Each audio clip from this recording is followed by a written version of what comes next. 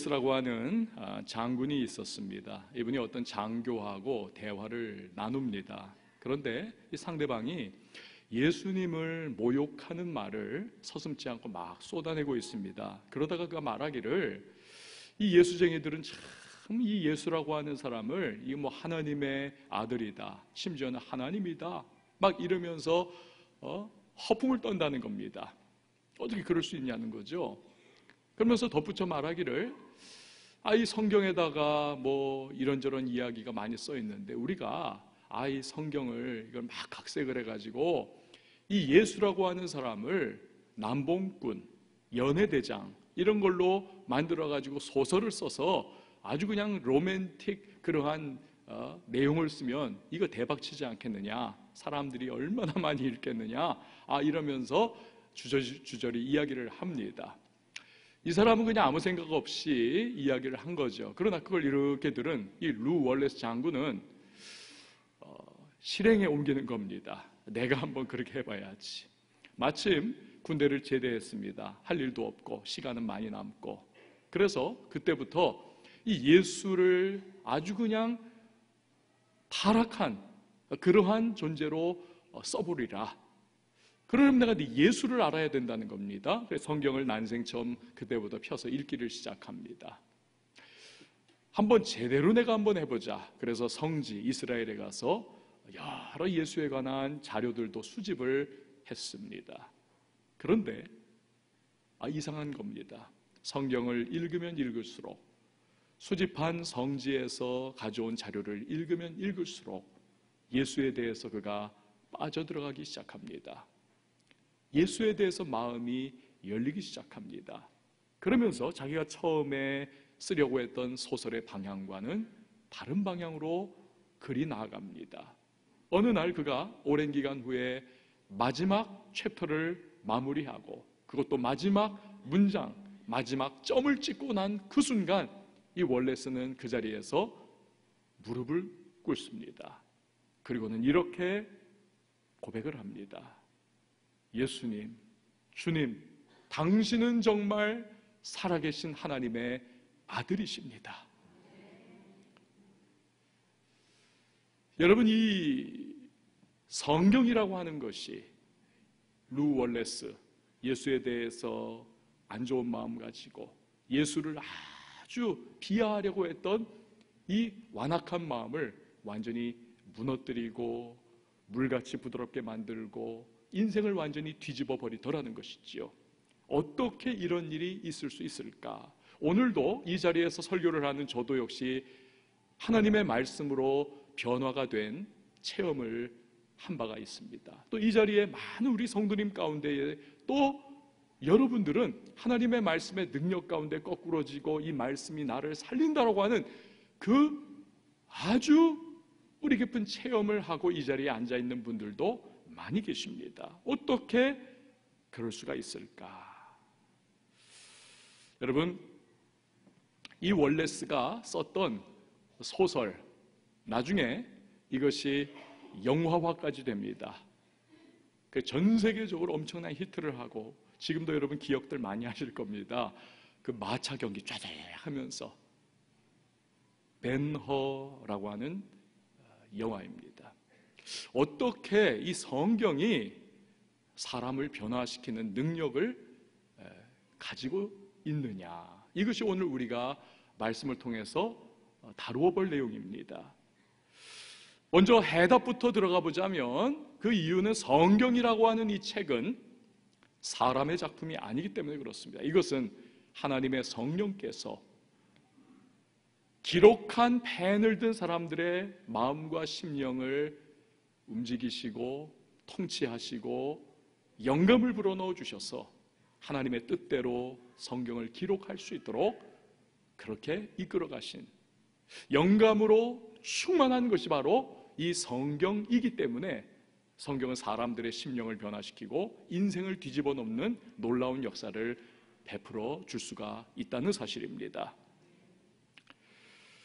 오늘 여러분 본문 읽었습니다. 그 중에서 3장 16절 말씀을 한번 보시기 바랍니다. 같이 읽어보시죠. 시작. 모든 성경은 하나님의 감동으로 된 것으로 교훈과 책망과 바르게 함과 의로 교육하기에 유익하니 아멘. 하나님의 감동으로 영감을 불어넣어 주셨다. 요한이라고 하는 사도는 계시록 1장 10절과 11절에서 어떻게 하나님의 성령께서 영감을 불어넣어 주시는가 자기의 경험을 한 예로 이렇게 말씀을 전하고 있습니다. 주의 날에 내가 성령에 감동되어 내 뒤에서 나는 나팔 소리 같은 큰 음성을 들으니 이르되 내가 보는 것을 두루마리에 써서 에베소, 서머나, 버가모, 두아디라, 사대, 빌라델비아, 라오디게아 등 일곱 교회에 보내라 하시기로. 이 성령께서 기록한 기자들의 심령을 사로잡아서 환상을 보여주시고 주님의 음성을 들려주시고 그 마음에 깊은 감동을 주셔서 하나님의 말씀을 기록하도록 그렇게 이끌어 가셨다는 겁니다. 여러분 우리가 아무리 애지중지하는 문학 작품이 있다고 생각해 보십시오. 저도 책꽂이에 여러 책들이 있습니다만 평생을 1년에 한 번씩 읽어야지 결단했던 책들이라 할지라도 한 세 번, 네 번 읽으면 지루해집니다. 더 이상 꺼내지를 않습니다. 나중에 어쩌다가 한번 책 정리를 할 때에 손에 잡고 쭉 한번 펼쳐는 보지만 또다시 덮어버립니다. 계속 읽지 않아요. 성경은 다릅니다. 수십 번을 읽고 수백 번을 읽어도 날마다 새로운 것이 성경입니다. 날마다 마음과 심령을 울리고 감동을 주고 야 이거 정말 이거 귀한 말씀이다. 때로는 눈물을 흘리게 하고 마음이 불같이 뜨겁게 만드는 것이 하나님의 말씀인 성경 말씀입니다. 저는 여러분 한 분한 분들이 다 그런 경험을 하실 수 있기를 축복합니다. 왜냐하면 이것이 성령께서 사람들의 마음을 감동하는 이 영감이 그 안에 불어넣어진 말씀이기 때문에 그렇다는 거지요. 이 성경은 참 독특합니다. 한 사람이 기록한 건 아닙니다. 1500년의 긴 세월 동안 약 40여 명의 사람들이 하나님의 기자가 되어서 성경을 기록을 했습니다. 그러나 성령께서 그 한 사람 한 사람들에게 영감을 불어넣어 주시고 감동을 주셨기 때문에 분명한 목적을 가지고 있고 분명한 목표를 향해서 그 40여 명의 사람들이 1500년에 서로 간에 얼굴도 한번 못 보고 대화 한번 못 나눠보고 사상도 한번 교환해 보지 못한 그들이지만 일관된 목표와 목적을 향하여 방향성을 가지고 그들은 성경을 다 함께 기록을 하는데 그것이 무엇이냐? 바로 예수 그리스도라고 하는 목표와 방향성을 향해서 그들은 일관되게 성경을 기록해 나아갔습니다. 그래서 이 성경을 보면 총 66권으로 이루어져 있습니다. 그 중에서 39, 27, 이 구구단으로 생각하면 쉬워요. 앞에 있는 39권은 구약입니다. 이 구약은 옛 언약이라고 하는 의미지요. 오실 예수님을 소개하는 옛 언약입니다. 그러나 신약은 새로운 언약은 3구 27, 27권으로 이루어져 있는데 오신 예수님에 대하여 그분은 이런 분이시다. 그림자로 바라보던 것이 이제는 눈과 눈으로 얼굴과 얼굴을 마주대고 보는 것과 같이 그렇게 예수님을 만났던 사람들이 예수님을 기록하고 있는 것이지요. 이렇게 해서 성경은 총 66권으로 이루어져 있습니다.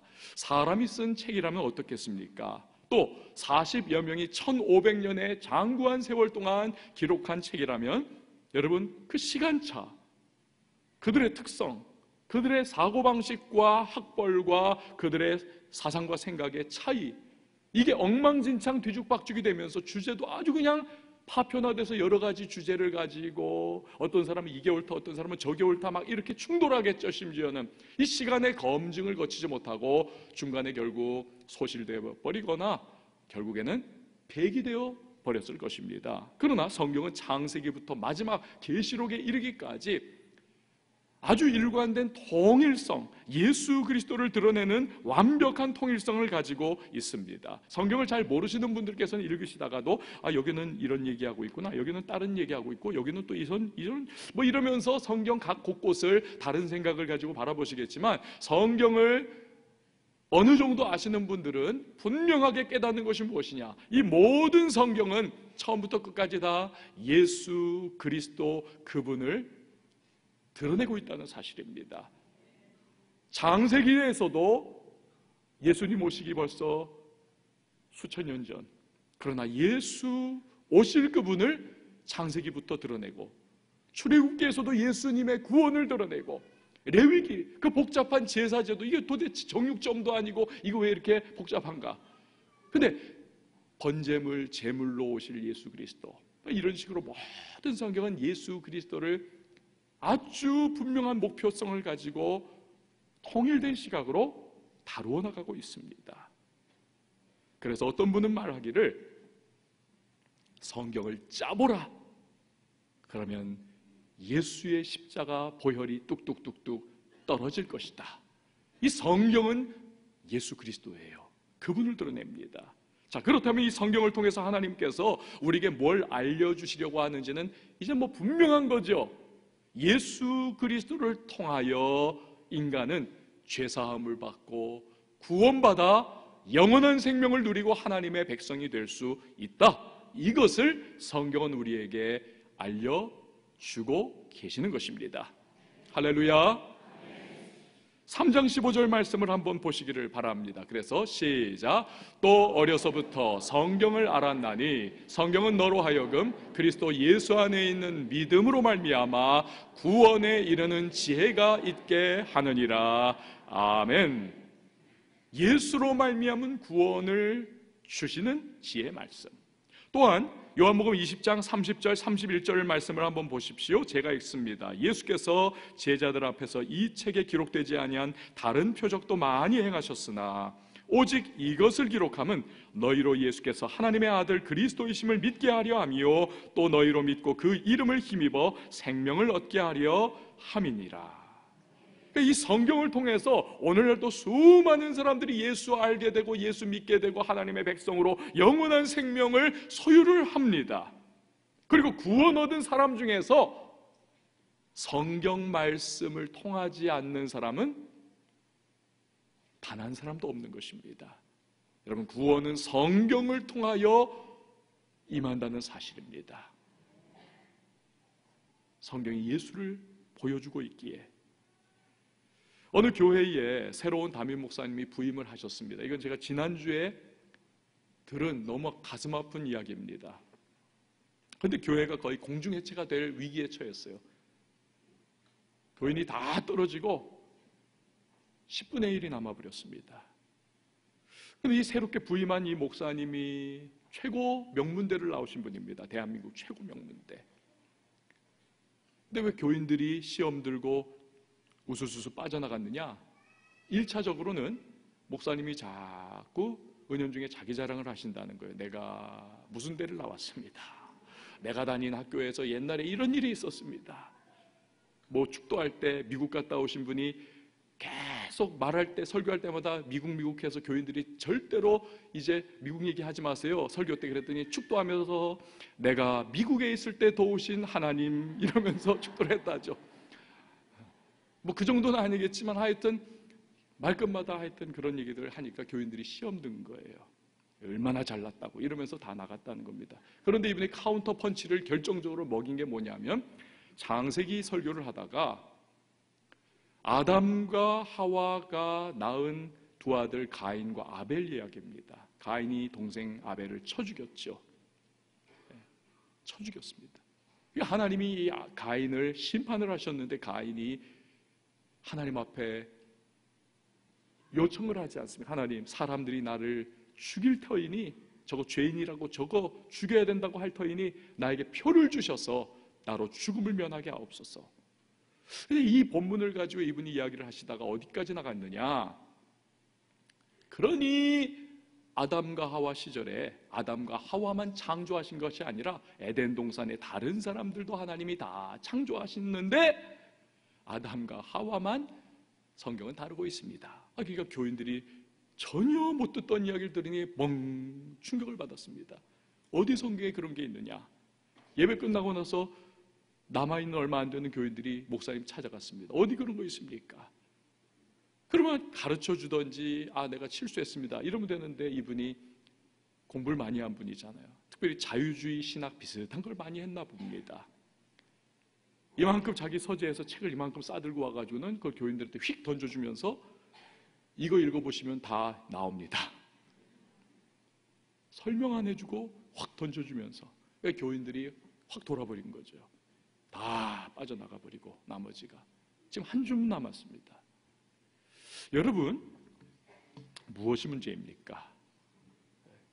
하나님이 우리에게 성경을 주실 때는 인간의 이성을 충족시키는 그리고 호기심을 충족시키는 메시지, 해답 이걸 주기 위해서 우리에게 성경을 주신 것이 아니라는 말씀입니다. 물론 궁금한 부분들이 나올 수도 있죠. 그러나 하나님께서 성령의 영감과 감동으로 주신 가장 중요한 근본적 성경의 원리인 구원을 어떻게 받느냐? 우리가 어떻게 하나님의 백성이 되어 죄의 저주의 사슬에서 이제는 노예는 안 받고 하나님의 영원한 생명을 얻을 수 있느냐라고 하는 이 중요한 주제를 가지고 성경은 기록되어 있기 때문에 이걸 넘어서는 부분들은 우리 역시도 하나님 절대자 앞에 순복하는 성도와 백성의 심령으로 멈춰서야만 됩니다. 여러분 아멘이십니까? 그러나 더 나아간 거예요. 아 이거 궁금한데? 아 이거 이런 거 아닐까? 유추하고 추론하면서 막 결국 파고들고 막 인간의 이성으로 작용을 하다가 결국 넘지 말아야 할 선을 넘어버린 거죠. 심지어는 이단이 될 수도 있는 겁니다. 왜냐하면 에덴 동산에 아담과 하와의 다른 사람들도 창조했으면 아담과 하와는 예수 그리스도의 보혈로서 그 후손들이 구원함을 받는 길이 열리지만 그러나 그 죄에 동참하지 않은 다른 사람들은 그 함께 창조된 다른 사람들은 예수 필요 없는 겁니다. 그럼 예수가 이 땅에 오시는 것도 온 인류를 위하여 구원의 좋은 소식을 주기 위하여 오신 그 예수에 오신 것도 모든 사람에게 해당이 되는 게 아니에요. 이게 아주 심각한 문제를 이야기할 수 있는데 그래서 아주 그냥 떠들썩했던 노예에서 겨우겨우 어떻게 어떻게 수습을 해가지고 문제가 봉합이 됐습니다만 이런 우를 범할 수 있다는 사실이죠. 여러분 여기서 다시 한번 보듯이 성경이 무엇을 말씀하느냐? 성령께서 의도하신 것이 무엇이냐? 이 맥락을 잡는 것이 이게 중요하다는 사실이죠. 그래서 베드로후서 1장 20절과 21절 말씀을 보면 먼저 알 것은 성경의 모든 예언은 사사로이 풀 것이 아니니 예언은 언제든지 사람의 뜻으로 낸 것이 아니요 오직 성령의 감동하심을 받은 사람들이 하나님께 받아 말한 것임이라. 여러분 그렇습니다. 성경은 사사로이 풀면 안 된다는 사실입니다. 왜요? 우리 인간 이성을 충족시키고자 해답 주려고 한 그런 것이 아니기 때문에 그렇습니다. 심지어 요한복음 21장 25절 말씀을 한번 보세요. 예수께서 행하신 일이 이외에도 많으니 만일 낱낱이 기록된다면 이 세상이라도 이 기록된 책을 두기에 부족할 줄 아노라. 예수님 자신의 행적 중에서도 많은 부분들은 이 성경에서 제외시켜 놨다는 겁니다. 기록을 안 해놨다는 거예요. 왜? 구원받는 그 성경, 지면에 분명한 할당, 여기에 필요한 핵심 알짜만을 성경은 기록해 놓았고, 부차적인 부분들은 제외를 시켜놨다는 것입니다. 구원의 길을 초점 맞추기 위해서 그리고 그 구원의 길은 오직 예수 그리스도인 줄 믿습니다. 요한복음 14장 6절 말씀에 예수께서 이르시되 내가 곧 길이요 진리요 생명이니 나로 말미암지 않고는 아버지께로 올 자가 없느니라. 하나님 아버지께 오직 예수로 말미암아 나아간다는 것이죠. 교회 역사를 보면 수많은 이단들이 있었습니다. 지금도 많은 이단들이 있습니다. 뭐 신천지, 여호와의 증인, 구원파, 하나님의 교회, 또 사이비들 여러 앞으로도 역사가 종결짓고 예수 그리스도 다시 오시는 그날까지 이단들은 계속 생겨날 것입니다. 왜 그렇습니까? 먼저는 사탄 마귀가 하나님의 말씀을 오염을 덮어버리고 사람들로 하여금 그 말씀의 중요한 핵심과 진리를 바라보지 못하도록 미혹에 덫을 놓는 것이지요. 두 번째는 사람들이 말씀을 잘 몰라요.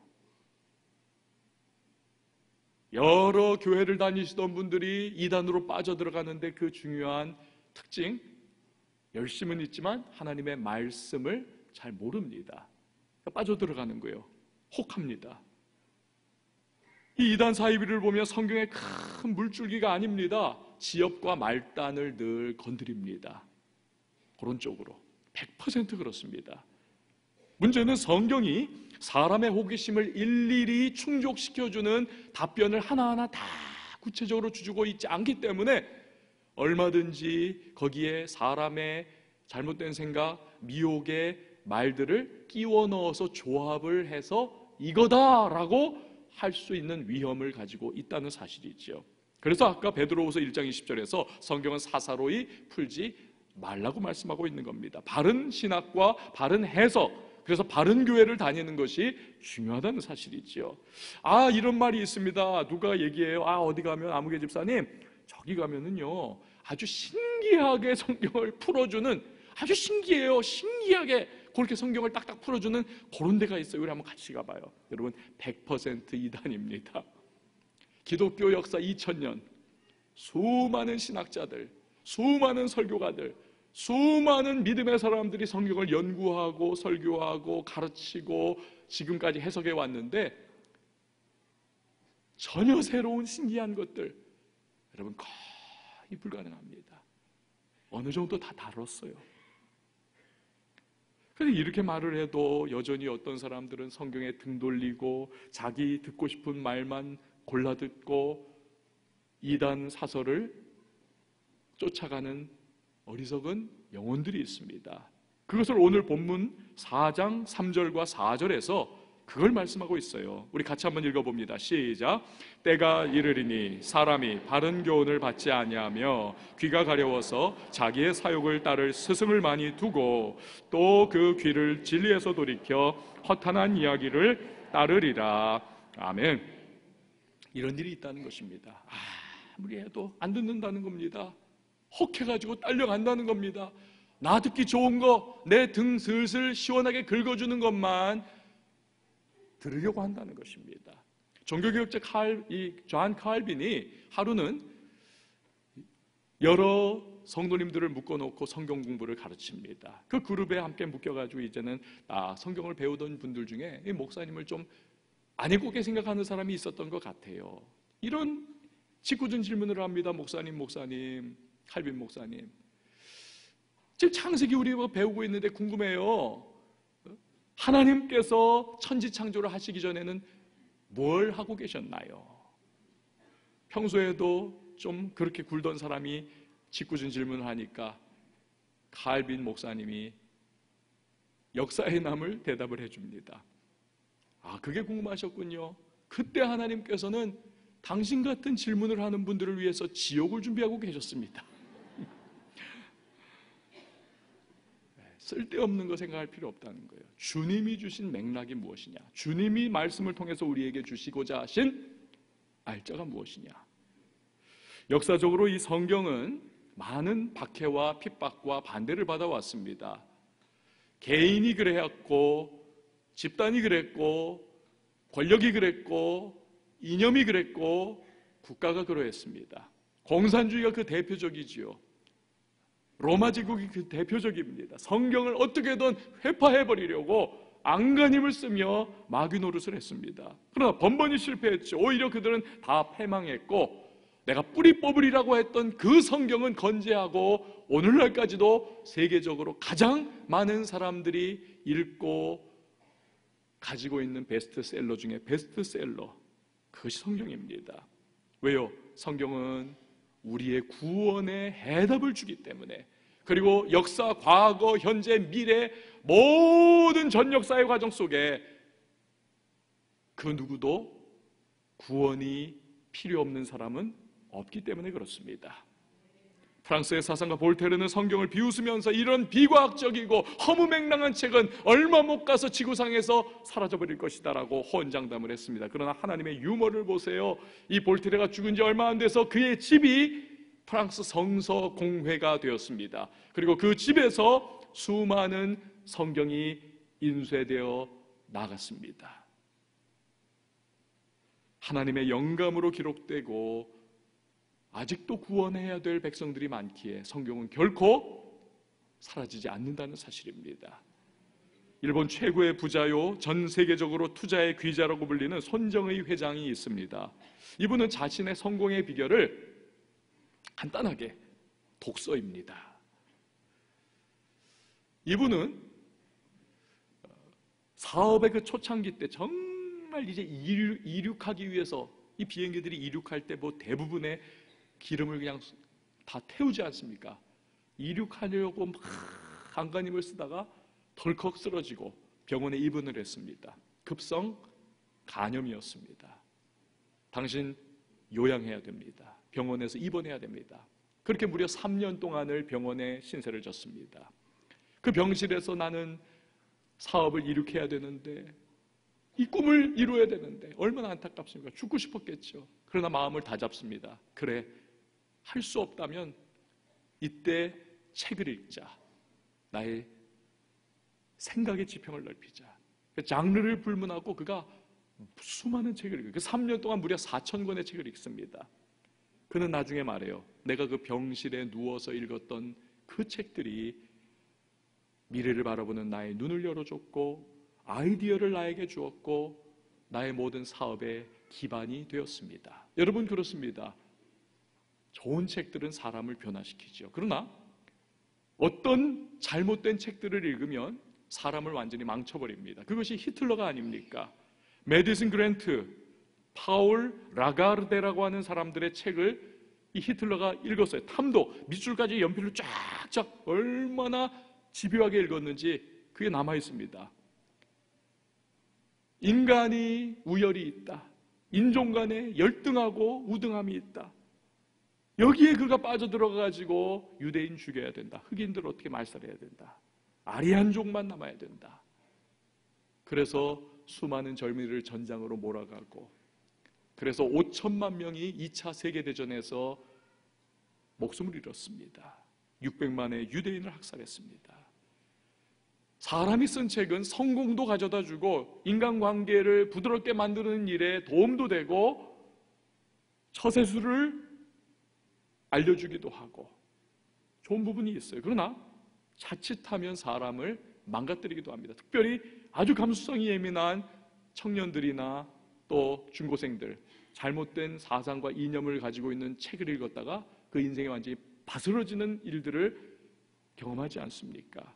그러나 그 모든 것을 떠나서 사람이 쓴 책은 한계가 있습니다. 무엇입니까? 우리에게 절대적으로 인간이 필요한 그 해결할 수 없는 근원적인 질문, 즉 구원을 어떻게 우리가 얻을 수 있느냐 이거에 대한 해답을 세상 책들은 주지 못해요. 오직 하나 성경만이 예수 그리스도로 말미암아 사람은 구원을 받을 수 있고 죄의 사슬에서 노연할 수 있고 하나님의 자녀가 될 수 있고 영원한 생명을 누릴 수 있다는 사실을 오직 성경만이 우리에게 가르쳐 주고 있는 것입니다.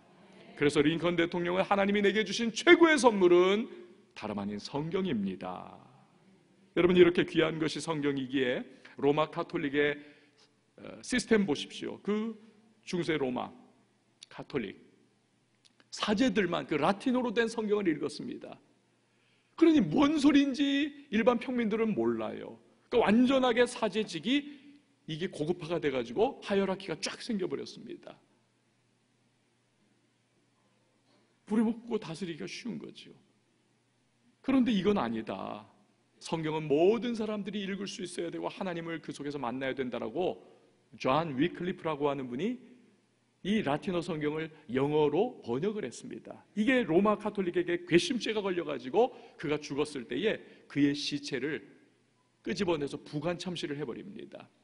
이 존 위클리프의 전통의 영향을 깊이 받은 체코의 신학자인 이안 후스가 로마 교황청과 교황의 권세에 도전을 해요. 교황이 절대 권위가 아니다. 하나님의 말씀이 성경만이 우리 믿은 모든 믿음 생활과 교회의 절대 권위다. 그가 로마에 의해서 화형을 당해 버립니다. 이러한 하나님의 말씀, 성경 제일주의의 신앙이 결국에는 종교 개혁자들에게 흘러 들어가서 그들이 외쳤던 것이 무엇입니까? 그 중에 하나가 Sola Scriptura. 오직 말씀. 오직 성경. 여러분 지금도 우리 개신교 프로테스탄트는 Sola Scriptura. 오직 하나님의 말씀이 교회의 원리요 성도의 삶과 신앙의 원리인 줄 믿습니다. 이 말씀이에요, 말씀. 이게 가장 최고의 위치에 자리 잡아야 된다는 사실입니다. 자, 그런데 우리가 성경을 바라볼 때 잊지 말아야 할 중요한 태도 하나가 있습니다. 3장 16절과 17절 말씀입니다. 우리 같이 한번 읽어보도록 하겠습니다. 시작.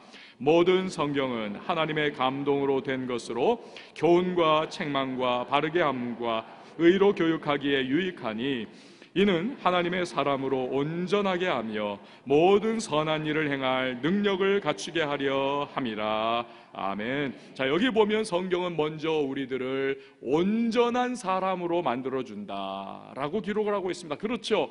죄와 사슬에게 묶여서 깨어진 삶을 살아가고 있던 저주의 삶을 살던 우리가 이제는 노여나 해방받고 하나님의 백성이 되니 여러분 이것이 온전한 사람이 먼저 되는 것이죠. 그러나 여기서 멈춰서는 안 된다는 것입니다. 온전한 사람이 된 우리는 더 나가야 된다는 것입니다. 얼마 전에 저의 첫째 아들이 이런 질문을 저한테 하더라고요. 아빠, 한국 교회와 성도들의 문제가 뭔가요? 아주 복잡한 질문을 했어요. 아, 간단하게 답해 줬습니다. 그건 말이야. 아는 것과 행하는 것 사이에 괴리야. 하나님의 말씀을 우리가 받았습니다. 알고 있습니다. 그리고 구원을 받았습니다. 그러나 그 말씀대로 행하는 삶을 살고 있지 않습니다. 교회에 많은 문제가 그래서 터져나가고 성도의 삶에 많은 복잡한 문제들이 그래서 양산이 됩니다. 오늘 성경 3장 17절에서는 그래서 온전하게 되며 여기에 끝이지 않아요. 그 다음 부분을 보면 모든 선한 일을 행할 능력을 갖추게 하려 함이라. 무엇입니까? 온전한 사람이 되면 이제는 온전한 선한 삶의 모습으로 나아가야 된다. 그것이 성경이 주는 능력이다. 라는 것입니다. 여러분, 우리가 알면서도 순종하지 않아요. 그렇기 때문에 하나님의 말씀의 능력을 우리가 제대로 체험도 못하고 구원받은 하나님의 사람답게 살지도 못합니다. 계시록 1장 3절 말씀을 보면 이 예언의 말씀을 읽는 자와 듣는 자와 그 가운데 기록한 것을 어떤 자요? 지키는 자는 복이 있나니 때가 가까움이라. 성경을 읽고 성경을 듣는 것에 만족하지 말고 성경을 어디까지요? 지키는 자의 자리까지 나아가라는 것입니다. 할렐루야. 성경을 읽고 듣고 나아가 지킬 때 우리에게 주어지는 귀중한 은혜가 있습니다. 역시 얼마 전에 그 아들이 또 물었습니다. 아빠, 성경을 읽는데 왜 감동이 없죠? 왜 그냥 드라이하죠? 잠깐 생각한 다음 아들에게 대답을 해줬습니다. 그건 말이야. 네가 절박하지가 않아서 그래 일단. 여러분 절박해 보십시오. 하나님의 말씀이 절박하게 우리에게 다가옵니다. 그리고 그 속에서 하나님의 나를 향하신 음성을 듣습니다. 네가 절박하지 않아서 그래. 그러니 드라이한 거야. 또 한 가지는 그것 말이야. 어쨌든 네가 그렇던 드라이하던 건조하던 뭐 하여튼 네가 감정이 안 따라주던 그래도 성경은 계속 읽어. 네 안에 계속 축적시켜. 네 안에 계속 입력시켜. 때가 되면 성령께서 성경을 기록해 하신 성령께서 너에게 감동 주셔서 그 성경 말씀이 살아 움직이게 하며 네 삶에 적용토록 도와주실 거야. 제가 집으로 돌아와서 생각을 했어요. 그 질문을. 그리고 세 번째 답을 또 한 가지 생각하게 됐습니다. 그것은 그것 말이야. 너가 어쩌면 성경에 순종하는 삶을 살고 있지 않기 때문이야. 여러분, 하나님의 능력의 말씀은 순종하는 자의 인생 속에 역사한다는 사실을 우리는 기록, 기억해야만 된다는 것입니다. 부모의 말씀에 순종할 때 그 부모의 말씀이 그 자녀의 삶을 이끌어가고 그 자녀의 삶에 역사하는 것과 마찬가지인 것이지요. 여러분 그래서 히브리서 4장 12절 말씀을 보면 하나님의 말씀은 살았고 운동력이 있어 좌우의 날선 어떤 검보다도 예리하여 혼과 영과 및 관절과 골수를 찔러 쪼개기까지 하며 또 마음의 생각과 뜻을 감찰한다라고 기록을 하고 있습니다. 왜 이런 역사가 나타나지 않습니까? 우리가 하나님의 말씀을 순종하고 때로는 부족하고 연약해서 순종하려고 하다가도 넘어지고 죄악에 빠지고 헤매고 우리가 휘청거림에도 불구하고 순종하려고 하는 몸부림이 우리 가운데 없기 때문에 어쩌면 하나님의 말씀이 내 안에서 지금 역사하지 않고 있는 것은 아닐까요? 사랑하는 성도 여러분, 우리는 살아갈 때 두려움거리 많은 인생 살아갑니다. 걱정거리 염려와 근심거리 많은 인생을 살아갑니다. 그런데 여러분 그거 아십니까? 하나님의 말씀 이 성경을 보면 두려워하지 말라라고 하는 말씀이 365번 기록이 되어 있습니다. 하나님께서 의도하셨던 의도하지 않으셨던 무엇을 우리가 생각할 수 있겠습니까? 아, 하나님께서는 이 말씀을 통해서 우리에게 두려워하지 않고 살아갈 수 있도록 힘과 능력을 주려고 하시는구나. 왜 아니겠습니까? 우리가 성경을 읽음을 통해서 예수 그리스도 이분을 통하여 나의 구원이 확실하게 내 안에 확증이 된다면 여러분 우리가 무엇이 두렵겠습니까? 나에게 영혼이 있고 나에게 천국이 있고 나에게 하나님이 계시는데 그까지 두려움 우리는 능히 감당하고 승리할 줄 믿습니다. 여러분 우리에게 그리스도까지 보내주신 하나님의 사랑이 기록된 그 구구절절 기록된 성경이 우리에게 있고 그 성경을 읽을 때 우리는 온갖 시련과 문제와 고난 속에서도 두려워하지 않을 수 있는 것입니다. 예수께서 나와 함께 하시고 내 평생 목자가 되어 주신다는 그 말씀을 내가 읽고 그 말씀을 붙잡고 살아나간다면 인생의 그 어떤 불만족과 불평등의 환경 속에서도 우리는 평안을 유지할 수가 있다는 사실입니다. 성경에 인생의 모든 해답이 담겨 있습니다. 성경에 모든 축복이 담겨 있습니다. 성경에 영원히 담겨 있습니다. 성경은 예수 그리스도를 담고 있습니다. 그래서 링컨과 같이 우리도 내가 받은 가장 큰 축복은 성경입니다라고 말할 수 있어야만 합니다. 나의 사랑하는 채 비록 헤어졌으나 어머님의 무릎 위에 앉아서 재미있게 듣던 말 이 책 중에 있으니 이 성경 심히 사랑합니다. 귀하고 귀하다. 우리 어머님이 들려주시던 재미있게 듣던 말 이 책 중에 있으니 이 성경 심히 사랑합니다. 여러분 이 고백이 저와 여러분의 고백이 될 수 있기를 축복합니다. 기도하시겠습니다. 하나님 아버지 우리 한 사람 한 사람 미련하고 불가능하고 죄와 저주와 영원한 죽음과 형벌 가운데 매여 있던 우리를 위하여 예수 그리스도 그 영원한 길과 생명과 구원의 능력자 되시는 그리스도를 알려주시기 위하여 성경 말씀을 주셨습니다. 이 말씀을 통하여 우리가 영원한 축복을 얻는 줄 믿습니다. 부지런히 말씀을 읽게 하시고, 말씀을 듣게 하시고, 나아가 말씀을 지키며 순종하여 말씀의 능력을 경험하고 또 그 능력을 통하여 우리의 주변을 변화시킬 수 있는 하나님의 사람들이 되게 하여 주시옵소서 예수님의 이름으로 기도하옵나이다. 아멘.